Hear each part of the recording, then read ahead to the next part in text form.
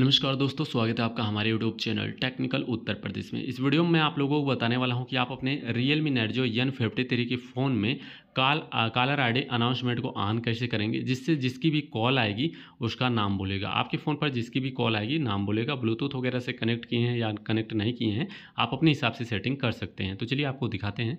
सबसे पहले आपको अपने फ़ोन में फ़ोन डायलर ओपन करना होता है। फ़ोन डायलर ओपन करने के बाद आपको कुछ ऐसा इंटरफेस मिलेगा। राइट साइड कॉर्नर में थ्री डॉट आपको दिखता है। थ्री डॉट पर आपको क्लिक करना है। थ्री डॉट पर जिससे आप लोग क्लिक करते हैं, एक ऑप्शन मिलता है सेटिंग का। आप लोगों को सेटिंग के ऑप्शन पे क्लिक करना है। जिससे आप सेटिंग के ऑप्शन पे क्लिक करते हैं, क्लिक करने के बाद आपके स्क्रीन पे यहाँ पे कुछ ऐसा इंटरफेस फाइनली देखने को मिल जाता है। अब दोस्तों, यहाँ पे आप लोगों को स्लाइड करना है और लास्ट में यहाँ पे नीचे की तरफ़ आना है। आप लोग जब नीचे की तरफ़ आएँगे, कॉलर आई अनाउंसमेंट का ऑप्शन शो होगा, आपको इस पर क्लिक करना है। जिससे आप इस पर क्लिक करते हैं, अनाउंस कॉलर आई का ऑप्शन शो होता है।